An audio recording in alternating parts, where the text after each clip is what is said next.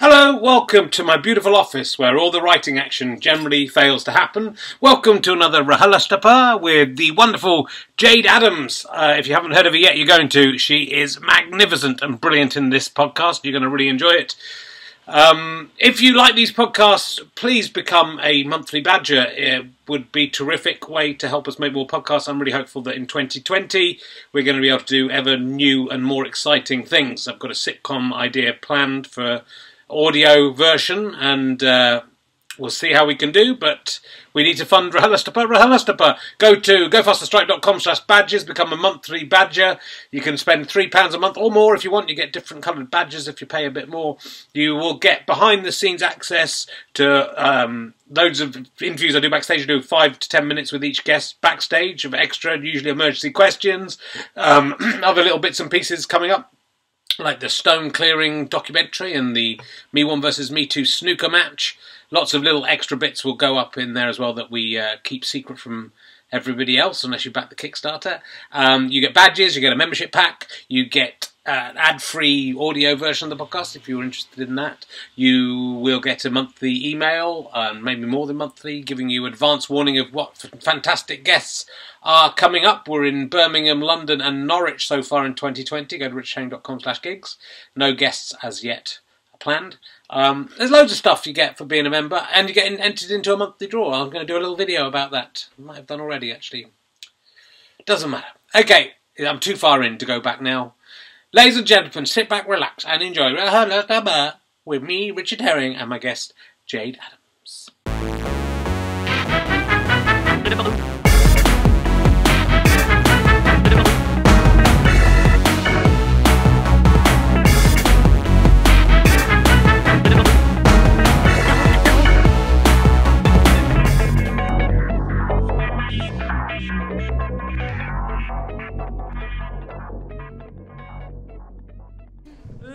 Ladies and gentlemen, welcome to the Bristol Old Vic. You're much better than last week's audience already. They were awful. And uh, please welcome a man who's just done a number four on the Bristol Stool Scale.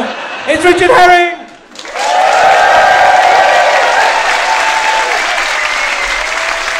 Thank you very much. Thank you. Thank God. Love to see you. Love to see you. Thank you for coming again. Uh, welcome to Richard Herring's Long Stringy Turds podcast. It's, there's a theme developing. Uh, I've decided uh, that the Bristol school stool system is not thorough enough. Uh, there's no one for one if you do one that comes out like string, does it? That's, that's, where's that on the scale? And there's no one if you do like one like Mr. Whippy. So every week I'll just get a different guest along. We'll talk about the different poos they've done. Try and come up with more than seven different types of poo. But uh, I was talking to Ian Tarr the other day from. Uh, he's the bloke who came up with Tars ice cream. That's the guy who invented. He calls it so I don't know if that's gonna. Don't know if that's gonna. Can anyone anyone a fan of Tars ice cream in? Yeah. that was your cue to shout out again, you idiot. Uh, anyway. I do like to look at TripAdvisor when I come to uh, towns, even when I know them well, like Bristol. And I would say one of the uh, one of the better uh, of the many fantastic tourists. Do come to Bristol, people at home. It's a wonderful place. People are lovely here, uh, and uh, generally, what they, I was we were talking backstage the comics and uh, just saying what a, a, fantastic audience you you always are here. And I'm not being patronising. I mean it. thank you for coming to my shows. I love you. I have just been in Leicester, so I've got kind of Stockholm syndrome or something, but it's reverse. Um, where the people are all right. Uh, they, were, they, were, they were nice. I'm only kidding, Leicester. Fuck you. Um, give our bones back. I can't let it go. Those belong to York. Um, uh, SS Great Britain is a lovely tourist attraction. Have you, have you been to SS Great Britain, Bristol? Yeah, no, I, I, don't know if I think I did when I first moved. It's been there a while. Uh, I like to look at the uh, one star reviews on TripAdvisor. Uh, this is one for the marvellous SS Great Britain, incredible historic ship. My son was on a school trip in there. Hi said, it said instead of he, but Hi, Hi said that it was a horrible trip. Very loud spat sound from the speakers. Sam was like, example, killing animals. In the kitchen was lots of blood on the walls and heads of animals. That is all what he remembers from the trip. I'm not sure that guy went to the SSC. I don't remember that. But is there animal? Is there blood on the walls? I mean, I want to go. I mean, it might just have been a terrible day at the SS Great Britain. He might just have been a terrible guest. So anyway, so uh, we'll move on because we've got a fabulous guest this week. It can't be a take me because I'm a different clothes. How, how would that work? How would that even work? Uh, she's probably best known for being the only comedian in the world to play the Royal Albert Hall and my Village Hall on the same day. She did last week. Oh my goodness! I'm, luckily, I know her name, or I wouldn't be able to tell you. Ladies and gentlemen, it's Jayde Adams.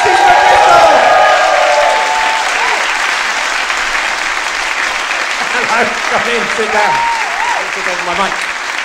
Oh, Hello, my lover. how are you doing? Are you all right? I'm all right, mate. How are you? I'm very good. I'm sorry, we were discussing backstage how I've come to the West Country and very slowly my voice is getting more West Country as I, as I do the podcast. Uh, so I'll try and go back to my, you know, proper voice. like a proper, I- non-comedy, ridiculous Let's voice. hear your West Country accent. Oh, my lover, how are you doing? What is I- that? Hello? Hello? What? It- it- we- I'm from Brittle. not- that's I'm not- from Brittle. Brittle? Brizzle? No, we don't even say Bristol. We say Bristol, don't we? They all do these things that we say and we don't say them at all, do we? Like, everyone says to me, oh, Gurt Lush. I've never said it in my fucking life. No, I don't need to say that. I just say stuff and it sounds funny, doesn't it? But yeah, people, um, they always with the with the with the West Country accent. There's always this idea that we we sound like we've been like you know finding apples and like tipping cows over and stuff. But I'm from the city, mate. Like I'm hard. You know. There's no farmer Giles in here, mate, at all. I am rough as they come. Good. So uh, yeah, well, let's talk about you did a gig. Uh, you very kindly came and did a charity gig for my local nursery. I loved it. Um, in, in my village hall. Ah, but you came from the Royal Albert Hall and then went back to the Royal Albert Hall in between. And I live in uh, Hertfordshire. Shall I, shall I tell them the best thing about this, Okay. right? Um, Richard uh, was asked uh, by the nursery to raise money for the nursery, yet couldn't get his own kids in that nursery. We got them in the nursery, but then we couldn't get them into the primary school. Oh, you couldn't get them into the primary school, that we, was it, We have to we go. We have to send our kids to the next village to the primary schools. There isn't room for them. Yeah, they so we like- are raising money for the school that we're not going to send our kids to. they wanted some of that sweet They were all dollar. happy. They were all happy to take the money, weren't they? Yeah, they wanted that money, didn't they? They were really nice, and we It went over nice. your house. Yeah. And uh, my chap and I, he's another comedian. We had uh, your your wife's lamb tagine, whatever that was, Yeah. mate. We had, I, I had lamb for three days straight after that. I got I, I, get, I, I have that type of personality that if I like something enough, Yeah. then I'll repeat it until I don't like it anymore. Um, I did it with the song "Streets of Philadelphia" by Bruce Springsteen. I've said this before on another podcast, but I'll say it again. We travelled uh, on a coach from here, Bristol, from my school, St Mary Redcliffe and Temple School. Any, any in? Any? Are you in? Yeah. Did I? Were you? What years? Class of 1996. What were you? Late. I have a very, a very young fan base. Very, very young. I can tell. but we travelled from that school on a coach all the way to Germany. And on the way back, I found that someone played it when I was in Germany. And on the way back, I listened to that song Right. on repeat. But it was back in a time when I had a Walkman. Yeah. So I was like, I wasn't like I was just pressing a button and it was flipping back electronically. I was having to rewind. Yeah. um, yeah, so. Uh, no, I bought my first Walkman here in Bristol with my first week's wages from the mushroom farm. Did we talk about this in the last? No. I've done that quite recently. Up in where, where I think probably Curry's or somewhere I bought it from. Thirty quid. I got thirty quid pay packet for the first week at the mushroom farm. Didn't give any to my parents for rent, obviously, and bought a Walkman with it for thirty pounds. Mushrooms, eh? Yeah, picking mushrooms. Ax- Axbridge Mushroom Farm. Not there anymore. Don't look for it. I think Yeo Valley uh, yogurt's made there now. I'm from Bristol, mate. What, what Yeah. sort of mushrooms we talking? They're normal, proper mushrooms. Proper. it, well, yeah, that- well, there are some normal proper mushrooms. Button mushrooms. Uh, Button mushrooms. Yeah. Oh, okay, nice, lovely. That's sweet. Yeah, it was nice. I wasn't very good at it. I only, I only lasted two weeks, but I got a Walkman out of it. Did you? Yeah. Do you- and where were the mushrooms growing? In like um, beds inside a big, like in a big container building. Oh, okay. Yeah. You weren't just Went out in the woods just picking mushrooms, hoping for the best. down the forest of Dean. Because if I'd been picking the mushrooms just in the, wild, everyone would be dead who ate them. I could, yeah, that looks like it's probably okay. um, yeah, so well, thank you for doing that gig. But it's, it's quite a, uh, di- a difference between the Royal Albert Hall. What was it like when you went back? You were doing a big thing with the Guilty Feminists, were you? At the, So uh, the Guilty Feminist was uh, doing a sort of BBC Proms does the Guilty Feminist thing, and I went on and co-hosted with Deborah Yeah. Frances-White, which was really lovely. And we had Jamie Barton, who was the opera singer. Singer at the end, she sang "Rule Britannia" wearing a bisexual flag, Yeah. um, uh, which a lot of people were very angry about, which which is what I loved about it. people get I, I don't care what people want to do you can you can you can do whatever you like to make yourself successful what go for it but i just find it hilarious that people get so annoyed about it I've, i think the world's never been funnier What's on a bisexual flag though? For is it a, what, a cock and a fanny? i don't know is it- There's a cock and a fanny I just mean, with a question mark. I mean, are we? I mean, to be honest with you, like I could say, I mean, I, you know, I, I'm, I'm, I'm, I, I, I wouldn't say I'm a bisexual. I'm currently with a bloke, Yeah. but I, you know, I'm- university. I had some Stella once. yeah. Yeah. Did you get the flag though? You got to get the flag if Gotta you've get done the it. Flag, gotta- mate. If I'd done it, I'd be waving. I've kissed a man. I can't have the flag for kiss, kiss just snogging the bloke, can I? You snogged a man. Snogged the bloke. Have you?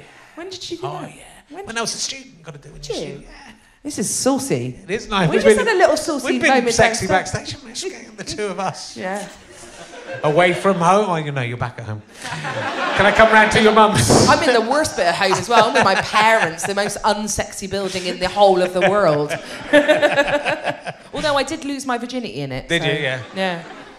I didn't lose my virginity in my parents' home. I didn't Did lose you? my virginity till, till about two. No, it was a year since I. Well, no, it was two years. I had a year off. Didn't lose my virginity on my gap year. Oh God. That's pretty. I bet that was all you were thinking about before your gap year, which is. bit- and I lost my virginity at the end of the first year of university. That's pretty bad, isn't it? I was I was practically twenty. That's all right. It's I don't right. think that's a bad age. I mean, they're, they're saying bad. at the moment that statistically, like, no one's fucking anymore. I mean, that's not what, how they're saying it, Yeah. but. Um, That's what it was written in the Guardian, guys. um, but no one's having sex anymore, so actually, that's kind of um, Yeah. it's very uh, But this postmodern in, of you. this was in the 1980s when everyone was Yeah. at it. There's, Yeah. It was the heyday for AIDS. Everyone was everyone had AIDS. no, I, It was it was amazing. I was, t- I was talking, I was talking. It was proper AIDS. It would kill you in those days. Not like the AIDS they have now. I, I am. I was literally talking about AIDS today on the motorway with my uh, my mum and my dad Yeah. because we were talking about Freddie Mercury. Okay, yeah. And we because the um it was. Uh, I mean, I couldn't have had a nicer journey. There was a Celine Dion hour, and she did um uh, the show must go on, and I said, oh, isn't it? Oh, Queen music, brilliant. And then we st- and then AIDS came up immediately, and I was saying to my mum like she, I don't think she realised she didn't understand like. Not a lot of people know about AIDS and HIV. No. But I got loads of mates who've got HIV because I'm um, um, in a sort of community of people, queer community in London. I've, a lot of drag queens sort of inspired me to do comedy and stuff, or actually let me just come and gig for money, which you don't get in stand up for a very long time. And I Yeah. w- wasn't really up for like performing to other comedians, so I sort of went off to the drag queens. But I've met, lo- I know loads of people with HIV, and uh, like John Sizzle uh, is a fantastically funny drag queen that I know. He's really funny. He's in his fifties, and uh, he was on a podcast with my chap, and he said, you know. To get HIV, you got to really go for it. he was like, he, he was like, he was like, and I was really going for it. He was, and I, I hadn't heard anyone say that before because you know the idea is is that you you know that's what you know people might think is that you can just get it like that. You don't. It's not. Yeah. It's not in every saliva gland. It's not in every like say you you you did it and Yeah. the stuff came out. The likelihood that the thing is in that is Yeah. very unlikely. But Yeah, it was it nice is. to hear that you've got to give it a real good fucking go. Give mate, it a go. Gotta put some effort in. Put some some, elbow grease in. You really do. to get your You definitely need some grease. Also, not Um, a death sentence anymore. He said to me, "It's like having diabetes, babe." That's what he said. So anyway, you've hot-footed it over from your. You did, recorded a special for Amazon Prime. Was it yesterday? literally yesterday. Yeah. Like I have a lot of uh, I've got a lot of amazing things happening, but there's some like milestone moment. I had a milestone moment yesterday, and I uh, for the first time, recorded my first stand up special for Amazon Prime at the Bloomsbury Theatre with basically a thousand people, a thousand people, so 500 in each show, of basically everyone that I adore in the entire world that came. And I did the show that I took up to Edinburgh this year, The Ballad of Kylie Jenner's Old Face. Um,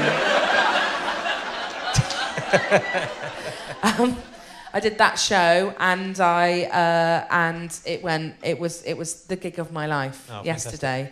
The first one, of course, I did it, and I was like, "Well, I don't think that went very well." And everyone, everyone was like, "What the fuck?" I'm quite a, I'm quite hard on myself. Yeah, yeah. Um, but then the second one, because I just didn't give a shit, because they said you've got we've got one in the bag now, so just go and really have some fun. And I really didn't give a shit on the second one, and it was great, and it was so well managed and produ- there were two there were two fucking trucks outside for me. I worked in Asda in Bedminster. Two trucks.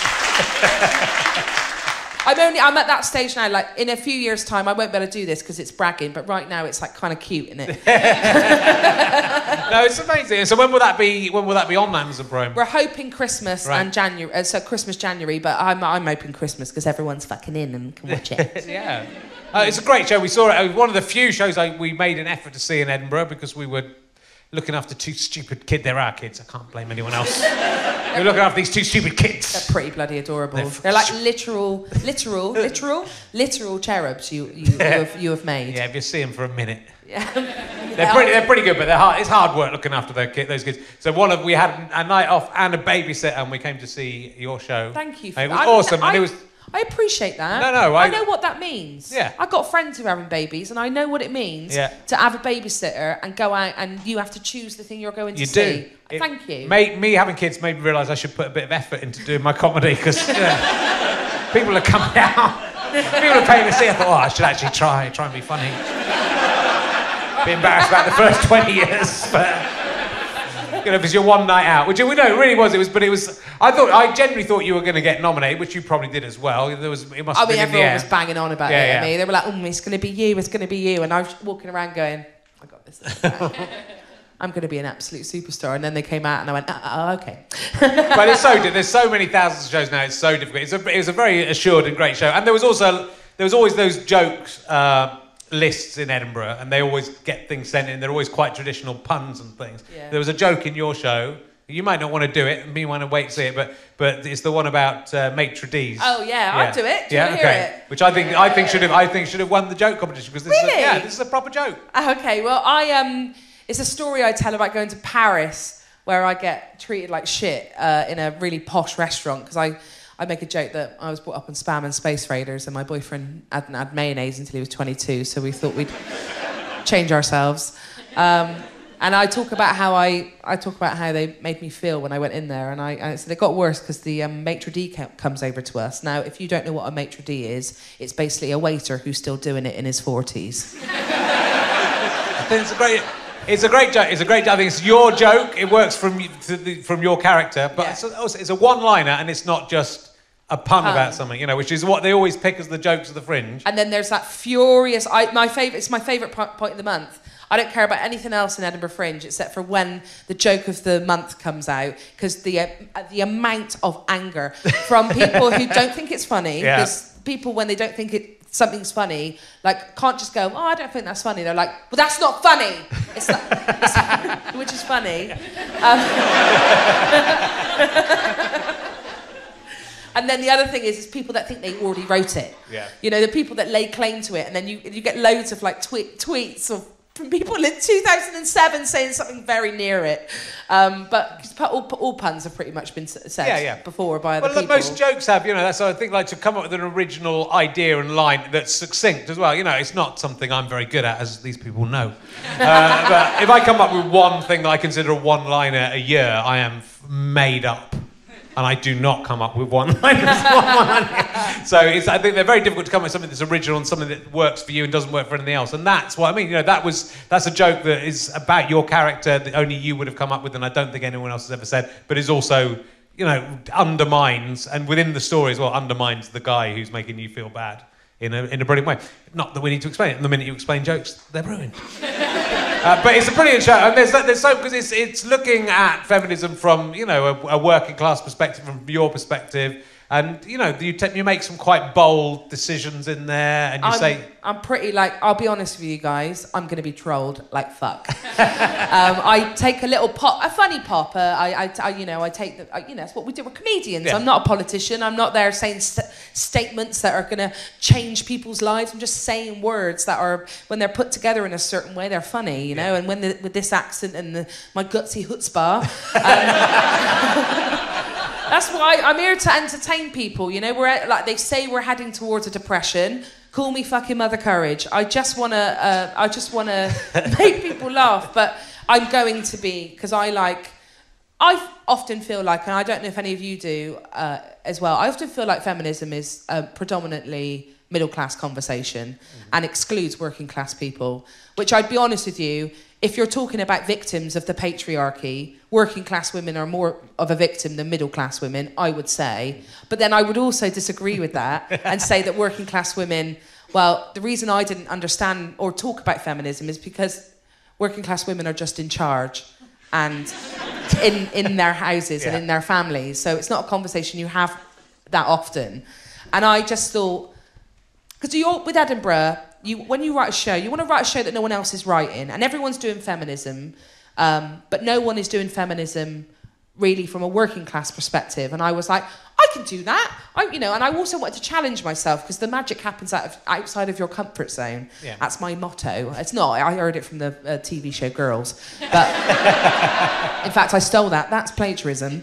Um, but it does happen outside of your comfort zone. It's an old old saying, and I wanted to do something I'd done before. I, there's often in my shows a lot of always jokes, but like songs and pizzazz and hair and big sequin costumes. And this year I was like, how about I go on stage in a black fucking turtleneck because the middle class people love that, and then I talk about something clever and make a make a point about something as well as trying to make people laugh and take the piss and because I feel like the thing is with comedy, the funniest thing is always the taboo thing. So as soon as you get like the um, the right on brigade making something taboo, it becomes funny. So it's their fucking fault.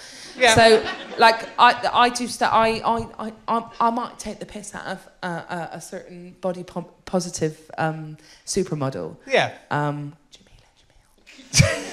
She's a DJ, an actress, and she um, does body positivity, and I and I take the piss out of it in there. But it's I, her fans are like insane. So there's But you know, but it's but it's bold, but it's all you know that It's that bold, it's but, bold. But it's bold, but it also I, you know people are um you know it's it's it. That's what you, people say. You're not allowed to say anything anymore, and you, you know you have to be careful what you say. But you can absolutely say anything you want. You have to pick your targets carefully. The people who and, and differently, and you have to be original. So the people saying that are generally saying, "I want to be racist, and I'm not allowed to be racist." That's what. That's what. And they are fucking allowed to be racist. They've won that Yeah. battle. Uh, they're allowed to be racist and be prime minister. So it's. Uh, and sexist. yes, yeah. Bristol, So- you are. So they've won. They are. They're allowed to do all these things, and no one's stopping them doing those things. But comedy should be able to, you know, you, uh, when you're doing that bit about Jameela, Jamil, Jamil, I don't even know how to say her name. Uh, she's, you know, it is. It's like, oh wow, that's, you know. n- but it's it's a fucking good point as well that you make about it. So that's what comedy should be. And I I also think it's about the person saying the thing and whether you like that person. When someone says something offensive, if they if they if you like them and it, and it's and it's knocking down the, the right target, they'll get away with it. And if you don't like them and you think they're a dick, they won't get away with it. You're a very likable performer. So, Thanks. Well. I, I, I really abuse that uh, uh, that uh, uh, that warmth that I have. Um, I you know I I have. I watched. I grew up watching Michael Barrymore be incredibly warm, and he had that uh, thing that not a lot of people have um, pre-pool. Um,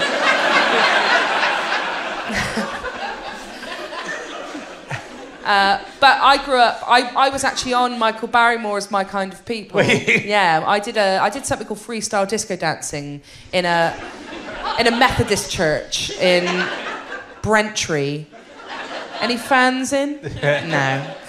Uh, my auntie owned a dance school, and I, uh, I well, I, I basically did. Why was I saying this? Oh yeah, yeah. So our team went to Michael Barrymore's My Kind of People, in. Uh, so you know, it looks like oh, we've got some local talent. No, that talent got on a fucking coach.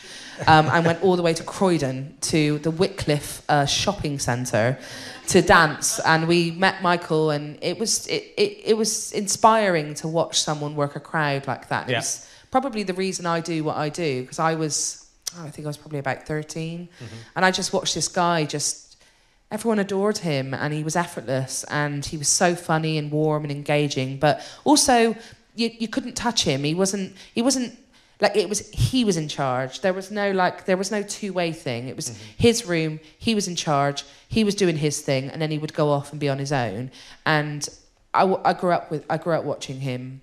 And it's that warmth that you know people like him Ant and Dec have got that warmth. I uh, i think i have as well um, which is the the um, a, a strength but also a vulnerable glint in my eye and Well, it's important. You can- get away with almost anything. Yeah. Almost anything, Jace. Almost anything. Don't let anyone die in your house. No, no, or. I'm not having any pool parties, mate. Um, I, I, I, one of our first jobs with me and Stewart Lee was writing for the pilot episode of that Michael Barrymore show. So Michael Barrymore loved uh, Simon Munnery. He loved. He, he was like he was a big comedy fan. He loved Simon Munnery, and he tried to get Simon Munnery to write for his ITV pilot in 1991. This would have been right when he was God and Jesus. I think he was doing when he was doing maybe the security guard. He was he wasn't even doing Alan Parker at that point. I think it was like very early days. And uh, Simon didn't want to do it, and so it got passed down to me and Stu, who we also like. And he was so nice to us, and he was so amazing in that show. He didn't end up. He would really like. We wrote loads of stuff for him, and he did it all, you know, in the rehearsals and loved it. And then someone would come down and go, and then they go, oh well, that bit's cut now. But he really wanted to do our stuff, and he was so nice to us. I've met him a couple of times since. He's, He's- uh, he just you know every you know that's that thing that's never gonna he's never gonna live down. His problem was that he ran, Yeah. um, and he shouldn't have, and he knows that, and he didn't kill a guy. Uh, you know, he had a party that got out of hand. I've been to those parties. Um, I've seen a lot of stuff, Yeah. and unfortunately, he was just gay at the wrong time, and it was a real tra- tra- Well, it was, you know, him. at that time he was uh, wasn't out. Yeah, not uh, and That was how he this came before, out. yeah, yeah. So, and uh, when, when we were working with him, his manager, his wife was his manager. It was, Fucking hell. you know, it was, yeah. but it was this really, uh, you know, he had these young men hanging around with him as uh, sort of uh, their jobs weren't really explained to us. Uh, it was. and we were two young, uh, quite attractive men, I guess, as well, hanging around. well. So I don't know, but he was he was so charming and so like, I mean, really brilliant at that audience work. I feel so sorry for him. I met you know I met him at a party. And he was just so upset by by what had happened to him, obviously, and to what had happened to uh, in the whole situation. But like you say, you know, just everywhere I go, you know, that's all I get. Someone came up, made a joke about that to his face as I was talking. He said, "See, so someone was just that was all that's all he's got for the rest of his life is that, and it's and it's you know it's what show it's where showbiz is terrifying because he really was do no wrong up there superstar could do anything he wanted and then and then man. never work you know really never works again always work very rarely wo- wo- worked again.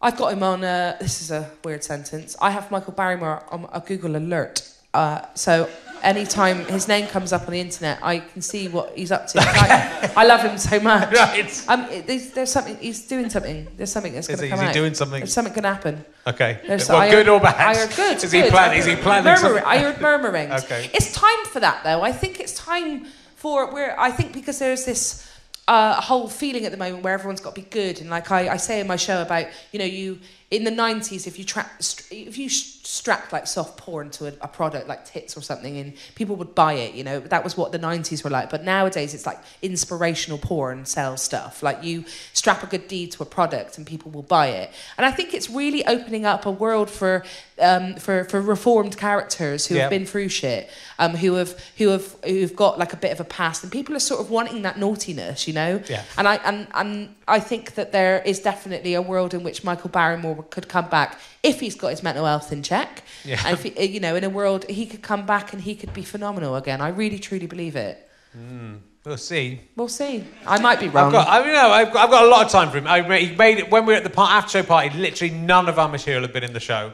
Oh, he no. made, he made. He came up to. We were both there. We I, I was there. Stu was his girlfriend, and she had a friend with her who he assumed was my girlfriend, but she wasn't. But he came up to us and said, "Stick with these guys, girls. They're going to be big." You know, and there was no need for him to do that, and there was no real evidence for him for it, that that was going to be the case. And he didn't But- use a single joke of yours. He didn't. That's great. but but I think it wasn't his. It was literally everyone else's everyone else's choice. He sort of wanted to push and be a bit more alternative and be you know and take risks. And they pulled him back. Even then, he was I was really under the control of all these people, and he was sort of this naive innocent in the middle of it. And that's why I kind of I, sort of agree with you, you know, about uh, that. I think he deserves another shot. Let's get him on this. He'd do it. He would do it, yeah. Okay, let's get him on this. I should get him back. He's a, a nice guy. Anyway, let's talk about you.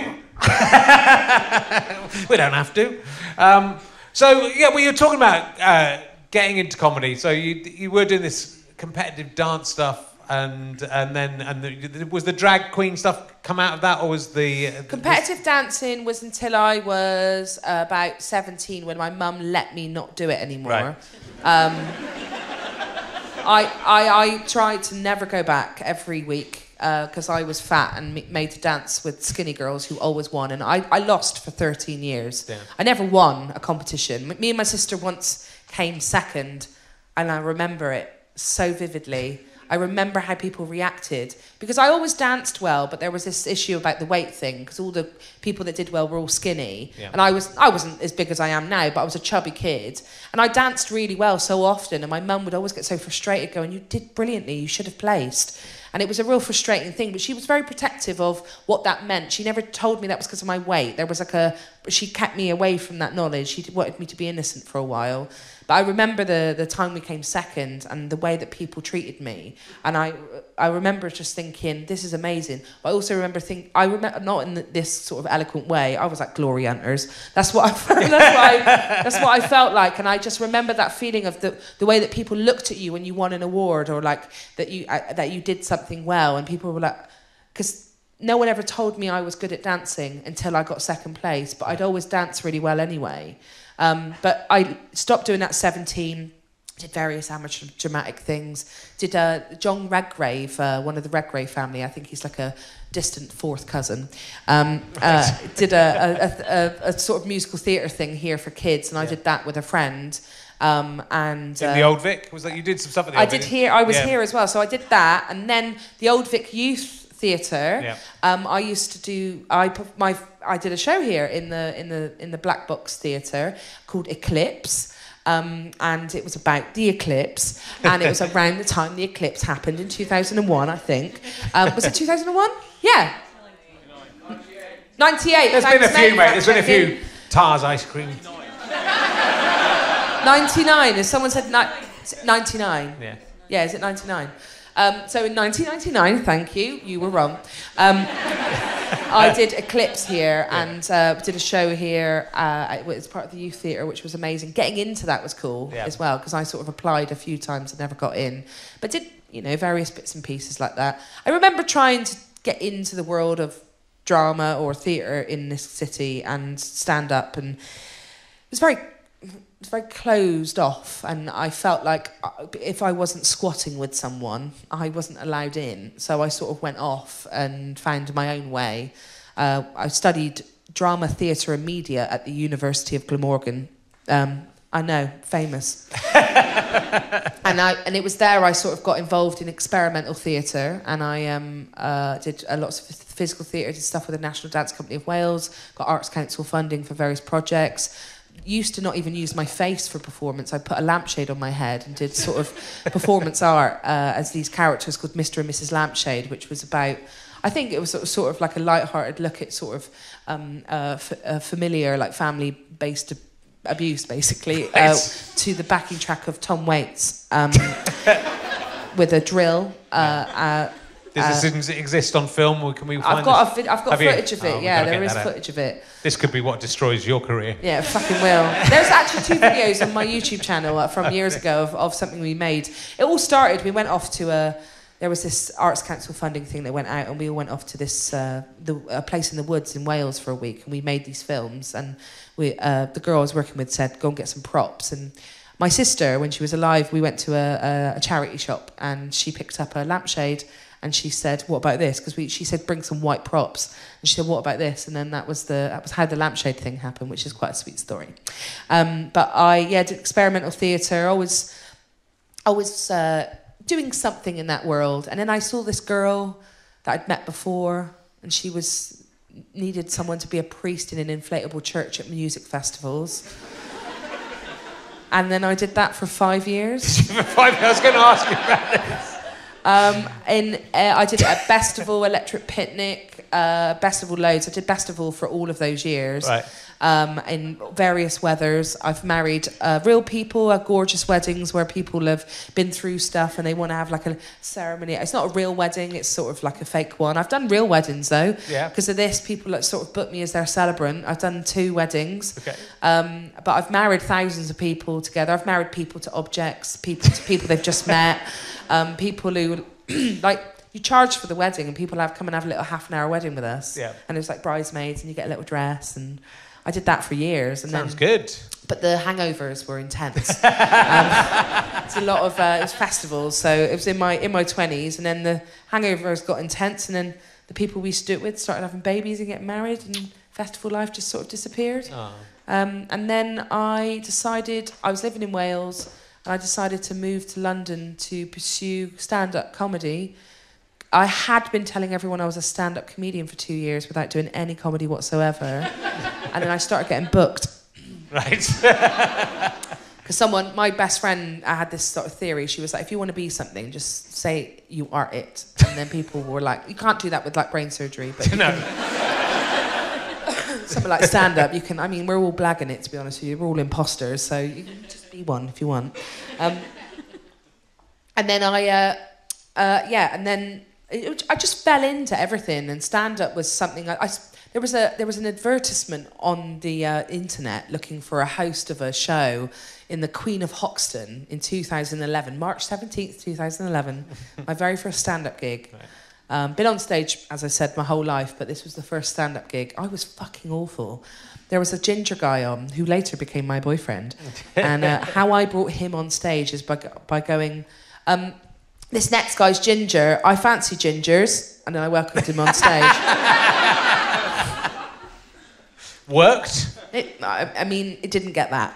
You got the ginger though. You got the ginger out of it. I got the ginger. I, yeah, it, I, yeah. I, I mean, it was a, a terribly uh, difficult relationship for both of us. Um, Don't just go for people by their hair colour. That's my. Try and. Yeah. I mean, go start with that and then work out they've got a nice personality. That's My, do you know what my thinking is with because I used Yeah. to be very attracted to ginger gin, people with ginger hair, and the reason is is because I I'm attracted to people that haven't had an easy life, and immediately. Immediately, when you got ginger hair, someone somewhere has said shit at you Yeah. about your hair color, and you've had to go in your head or not. Or, and I, I, I like people like I don't immediately find you know like if someone's like, oh my god, have you seen how good looking they are? There's people in comedy like that, and everyone's like, oh my god, they're so. And I, I don't find them good looking. I like people who I fu- I'm attracted to people who look like they've been through shit. You know, Okay. I like I like survivors. It's, it's Yeah. hot as fuck, isn't it? you want to be with someone who could like who you're going to stand behind in the apocalypse. That's what you want. You want you want to be like I want, and I want someone to feel that way about me. I want like my chap to think like like. Do you know what the most impressive thing I've done? All the comedy shit he doesn't give a shit about. My boyfriend, the most impressive thing I ever did was I am. I've never said this before ever. Uh, we were we were in the. I lived in this horrible house at Rats in London. It was horrific, and there was this uh, bin at the back, a wheelie bin, full of concrete. And that wheelie bin, the only way it could get out of the house is to drag it through the house.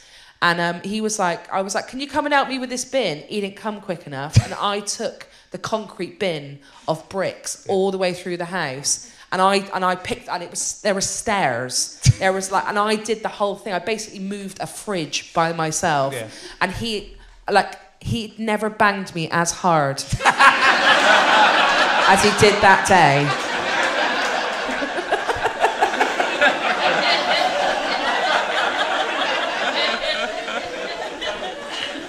Oh, that's good. Those two are off. That's too much for him. They're off to bang. It's all fucking.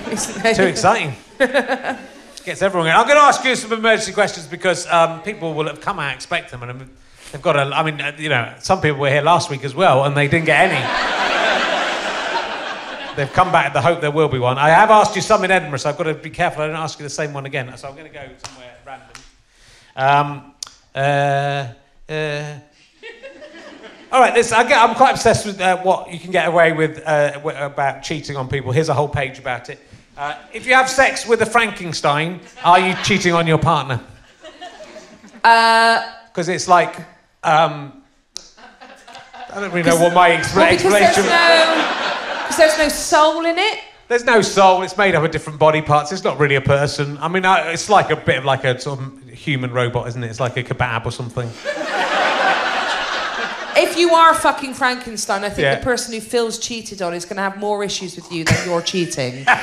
um, the the the the um, the necrophilia would be a major issue for I mean, me. but it's back alive again, so it's you know, it's it's the best of both worlds. It's dead and alive. You can feel part. like it's necrophilia, but then you know, none of the stigma. answered. That's done. Okay. And all right, subsidiary question: What if part of the Frankenstein is taken from your partner, so you would actually be having sex? Say their leg or their one of their kidneys or something. Was your partner still alive, and just a bit of your partner had fallen off? They'd stuck that in the Frankenstein. You could argue that you were just having sex with your partner then, can you? This is like an episode of Doctor Who at the end where um, Rose gets given another doctor that is Okay. able to stay with her in age. Okay. And then I was like, because loads of people were like, oh, isn't that great? Rose gets to stay with David Tennant because I was only watching it for him. Um, I, I've got a real thing.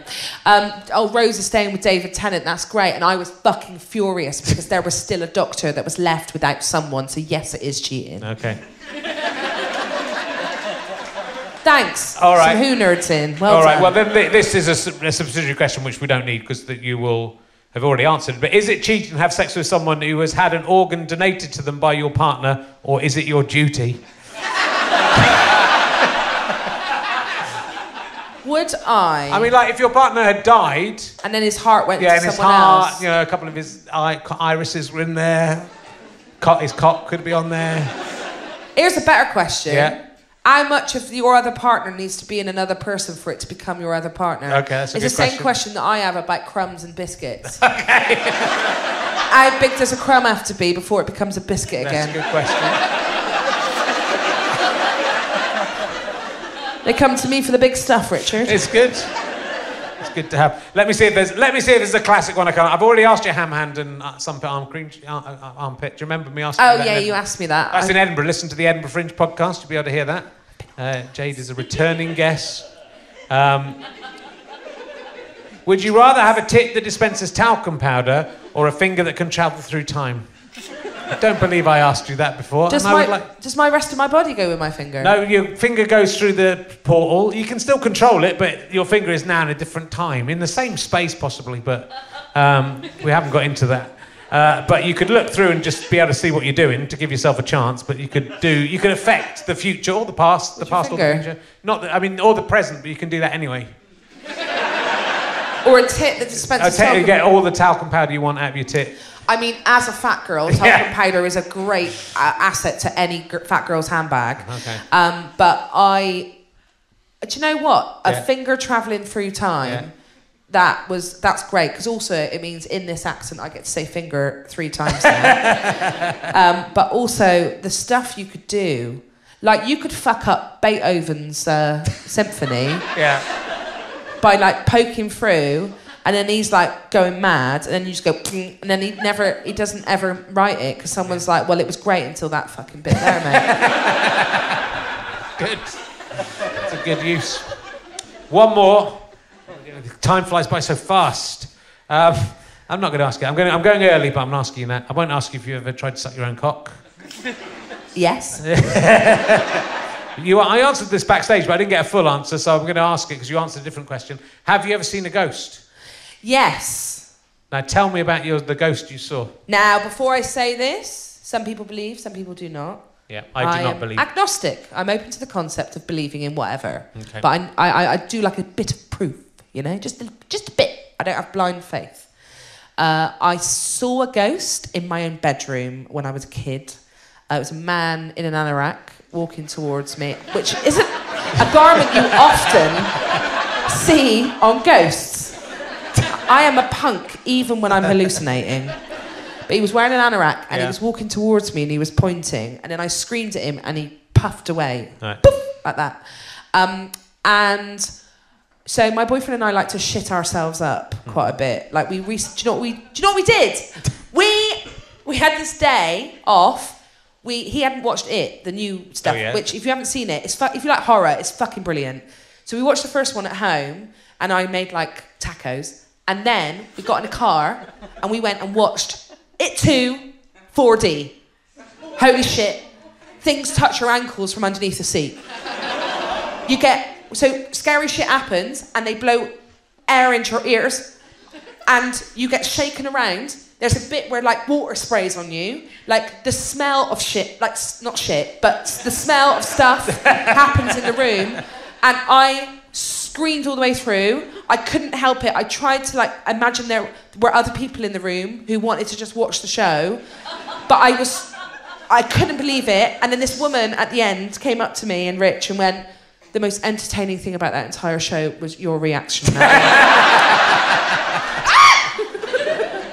I mean, four dimensions is actually time. So you you're traveling in time. The fourth dimension is time. So if it's in 4D, then it should, I you went- should have come out in a different time zone than you I went went to in. the year 3000. It's all busted.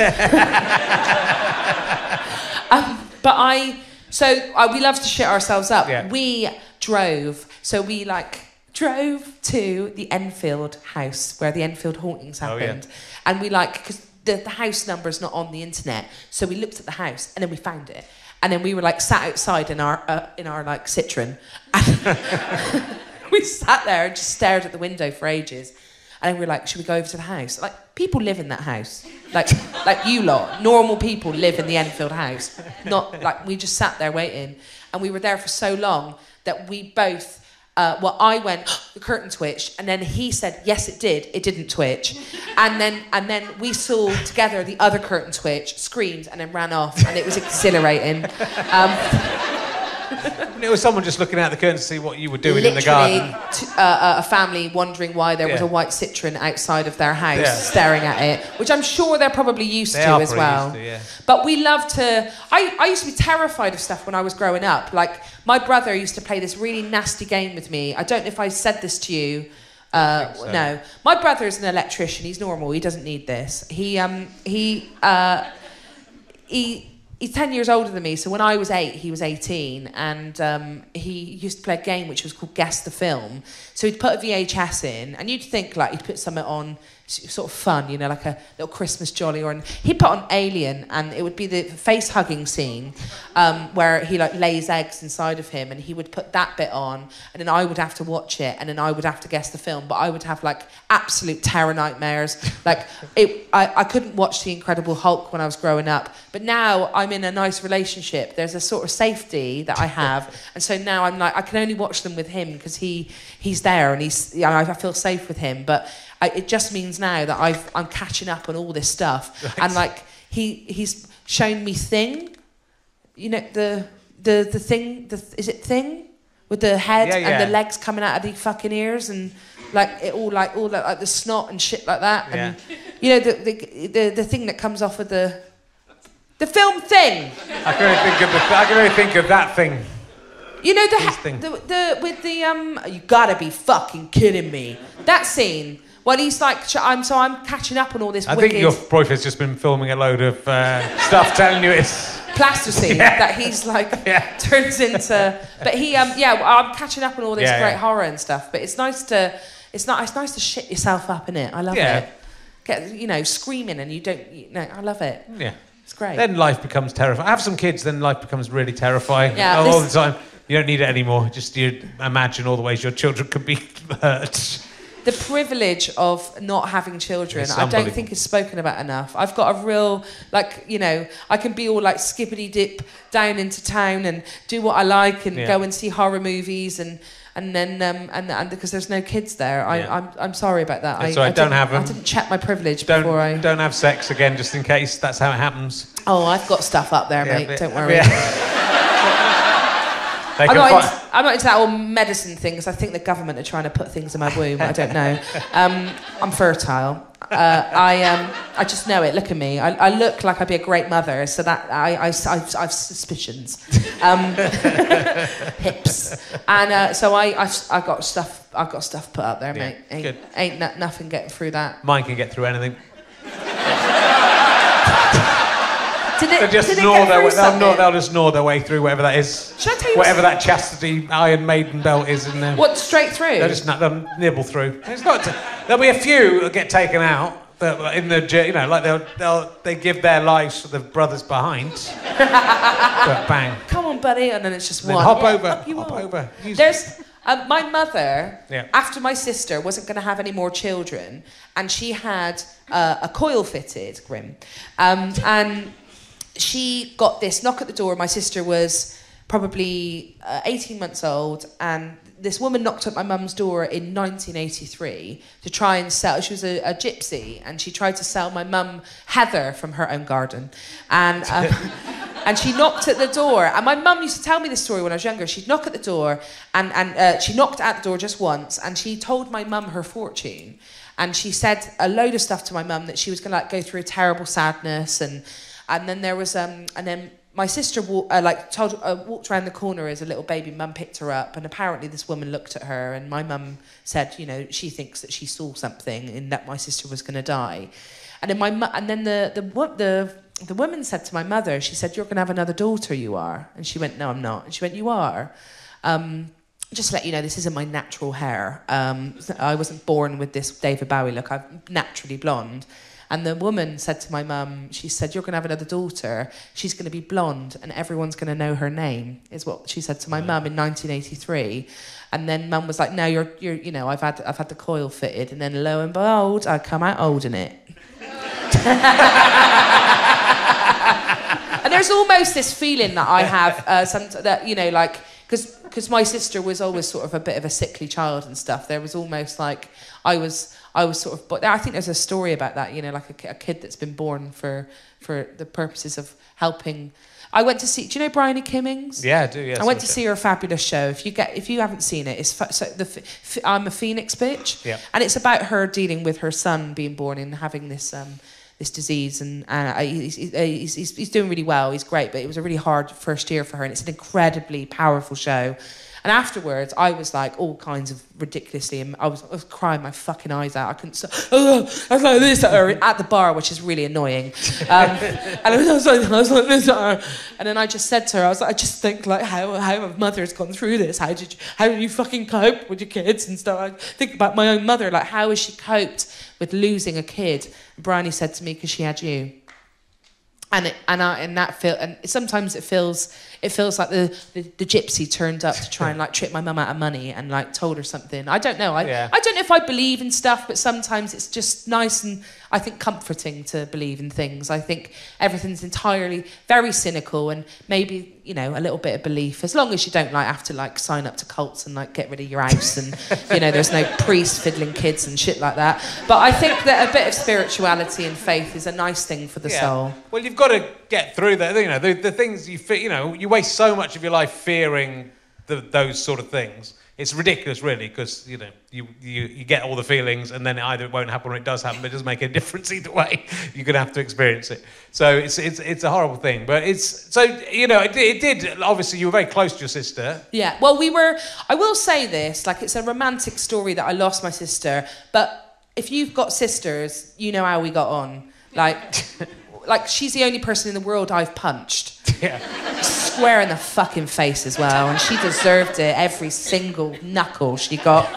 Um, she was two years older than me, and we fought and we loved each other and we fought. And I didn't have like I, you know, I, I, I wrote a show about it. I wrote a, a, a sort of, you know, the in comedy dead dad show or dead sister show, and I did a dead sister show very cynically. But the show wasn't about like it was a it was a complicated story about two sisters who fought and were chalk and cheese and and how I was in her limelight my whole life because she was the better dancer and she was she was just a, a, a far more interesting person when I was growing up because I was like loud and I had no I had no filter and people don't want to be around that when you're a kid. But when you get older and you know it's now now I can make a living from it.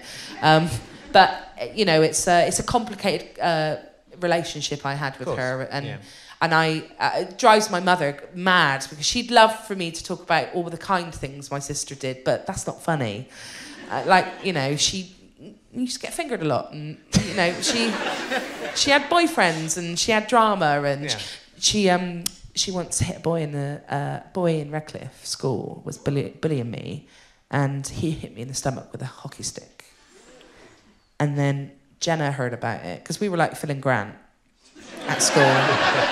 I was Phil, she was Grant. She fucking comes storming down through the playground. And they start having a scrap. Headmaster takes us away. And then uh, we're in the toilet. I'm sure I've told this story before, but fuck it, it's really great. Um, she's like, let's go to the toilet. So the two of us go off to the toilet. And she's like, punch me in the face. And I went, what? She went, punch me in the face. I haven't got a mark. He's hit me and it hasn't marked. He'll get in trouble if you punch me in the face. and I was like, I'm not fucking punching you in the face. Are you fucking crazy, you lunatic? I'm not punching you in the face. She got down on her knees and punched her own f- fucking face in the doorknob. Gave her, she, oh, hard as fuck, I love it. And then, and then we went in and he got in so much trouble. He got suspended. He'll,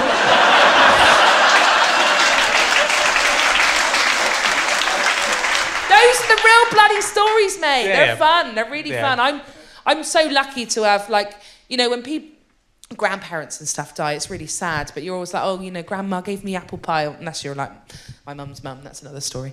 Um, but like with her, you know, it was I sort of I'm lucky in the fact that I lost. Uh, I'm unlucky that I lost a sister. But if I look at it positively, I'm lucky because I've got all these incredibly funny.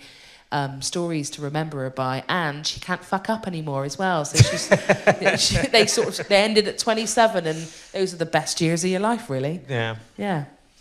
Well, yeah, but it, it gave you like I, don't I don't know. It, it, uh, this Robin Ince's book is uh, is great about comedians, and I- and he sort of argues that most comedians have been through some trauma in some some way.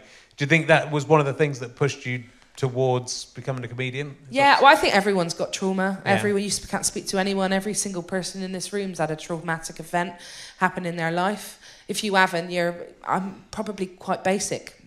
Um, uh, and I, everyone's got a, a form of trauma. It's just comedians, uh, you know, they, they, there's a there's a, a, a side of narcissism with that trauma as well. Like some people Yeah. can go in on themselves with trauma and it and they never mend and they never and they never fix themselves from it. But I also had this. I'd already been doing stuff beforehand, so I had this drive to. I, I'd already been on stage in front of people, so I had that Yeah. thing that I wanted to do. But her dying did a really uncomfortable thing, which was it released me from this idea that there was already this person that was so much better at everything than me.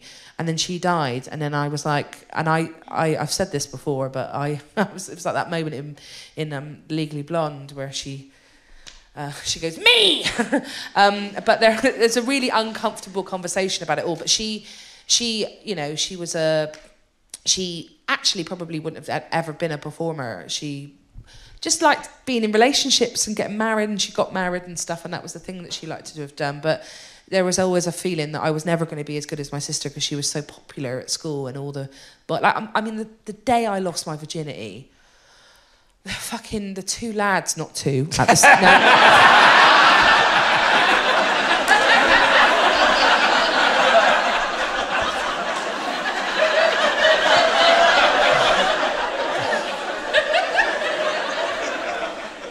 No. one lad did it, but two were over the house. And the other one went up to my sister's room to, like, I don't know, go through her knicker drawer or something. So even that moment of your life where you lose virginity is laced with, well, lacy pants. No, it's laced with, with her in it as well. So I, Yeah. this, the show I did was all about this sort of the amount. It was every story that was about me had her all the way through it, and and you know that's a beautiful thing I have now in her in her death that she is she's like yesterday in the um the pre the the Amazon Prime special we do a pre credits show. I mean none of the other Prime specials have done this at all. I've bloody done it. Um, you know they do you know in some of the stand up shows they do like a pre a pre bit, um and uh the whole show is me getting rid of all the, the gowns and the songs and everything and stripping back to a black turtleneck to, to talk about something I'm passionate about.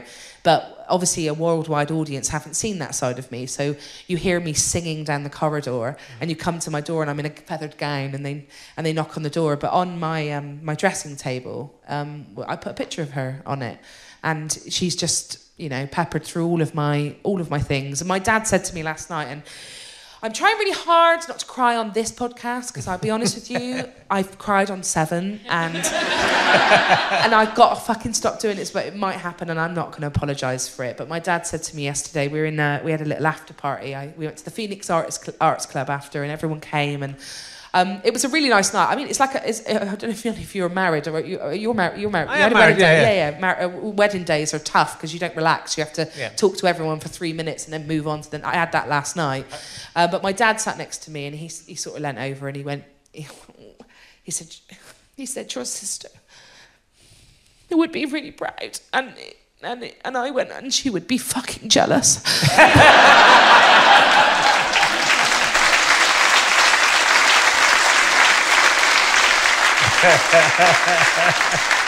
Uh, well, and I think, but it's also as comedians, I think we we tackle dark subjects with jokes, and that's the way we get through it. And but I think that's the way most people get through Everything. Everything. Yeah, it's the I- only way. You know, but I, I wonder whether the world we're living in is is getting too sensitive to that to that sort of thing. We're like- rather than the rather than the we can't say anything is worrying about offending people. Some people will be upset and offended that you could joke about the death of a sister because they go, "My sister's dead," and I didn't find it funny, uh, and,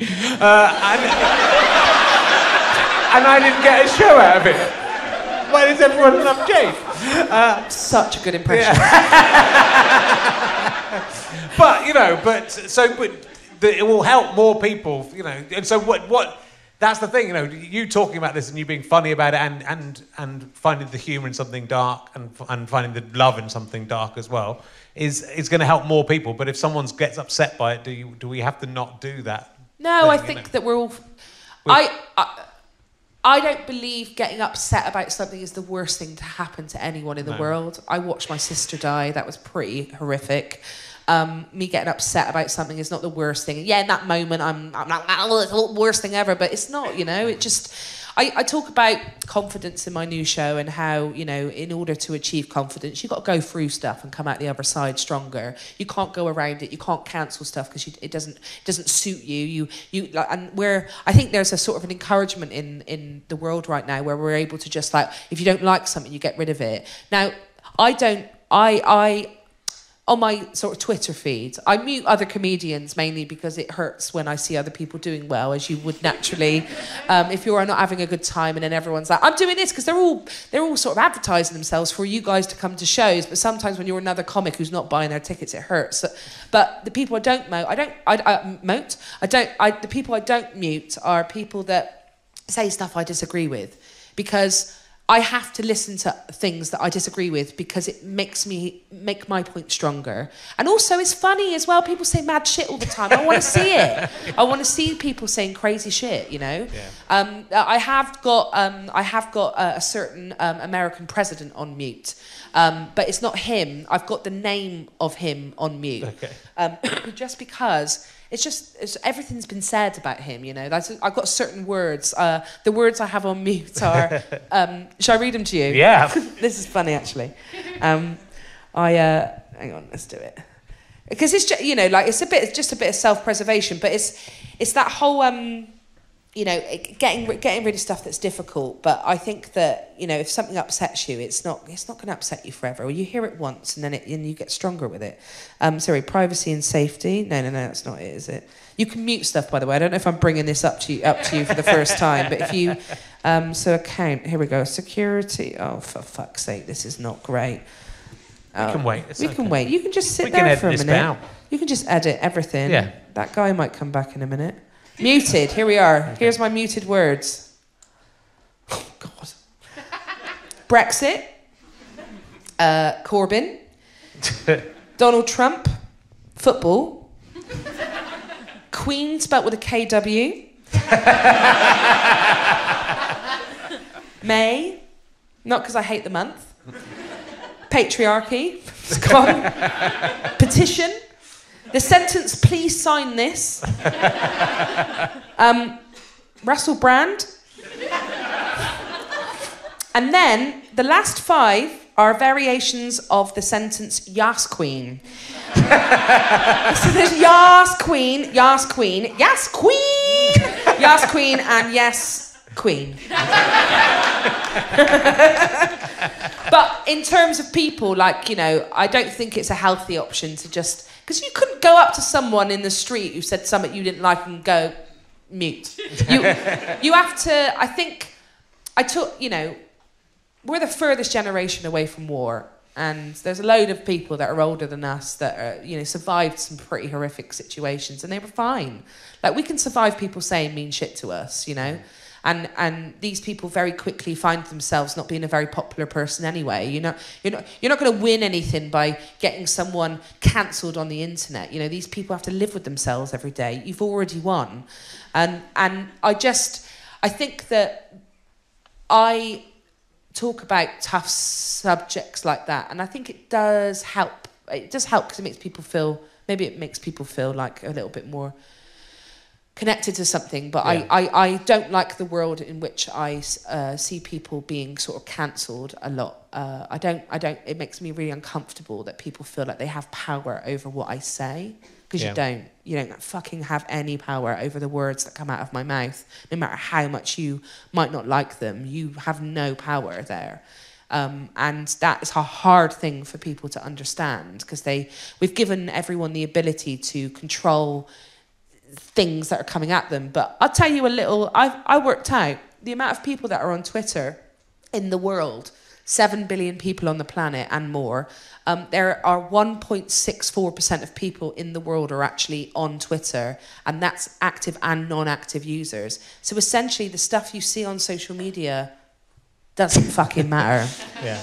And and I, you know, I, I like comedy I, I love comedy. It's you know, it's, people say things that are naughty and laughing at it, and I love it. It's, I love a guilty pleasure, and I, you know, I think that the types of people that want to cancel shit, like you know, just go and throw yourself in the fucking sea, mate. I um, don't think it's going to change. You know, people still want to laugh. You know, it's it's finding that what the thing is and you know, that that changes. There's the the tastes of what's acceptable and what's unacceptable change, but it changes so naughtiness often. doesn't. Yeah, but the actual naughtiness doesn't. And understanding where where what's naughty and what's offensive. Well, it, that's the problem, isn't it? There's the thing. There's so many lines being drawn. It means the people that are absolute knobheads, the absolute cunts of the entire world, get away with stuff because those edges get so blurred, yeah. and you don't know where right and wrong is. So actually whilst we're all saying this person has done this, I, I saw it with a comedian yesterday on the internet.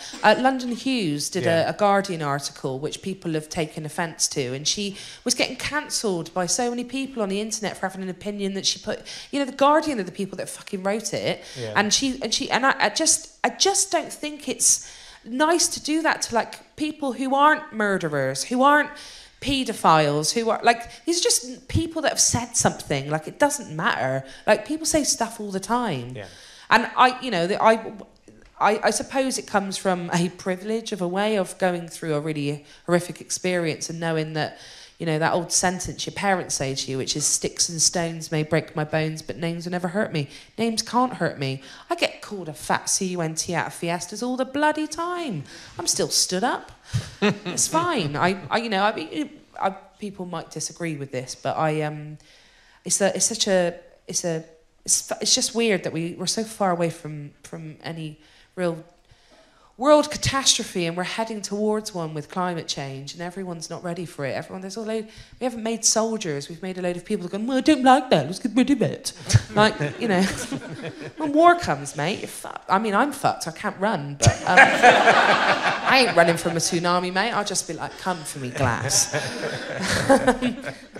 uh, well, Jayde, it's been lovely to talk to you again. And, uh, like, you know, Bristol's the best, isn't it? Bristol's so it's fab. I'm Bristol here. April 26th, I'm in this room yeah. uh, for the first time in my career. It's amazing to, because um, that's the thing, like you look at these venues when you're a kid and you're like, one day I'll be there and I'm here um, on the 26th of April doing the You're here now as well, you know. I'm here right now. Yeah.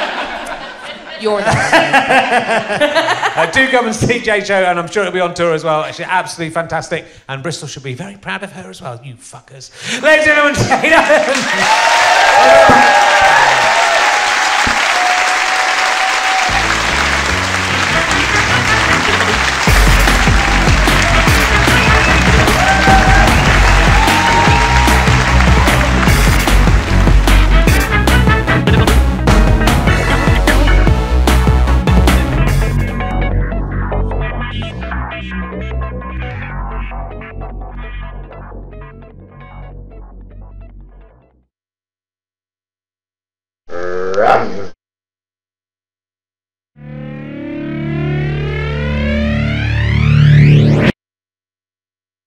How'd you like them sky potatoes?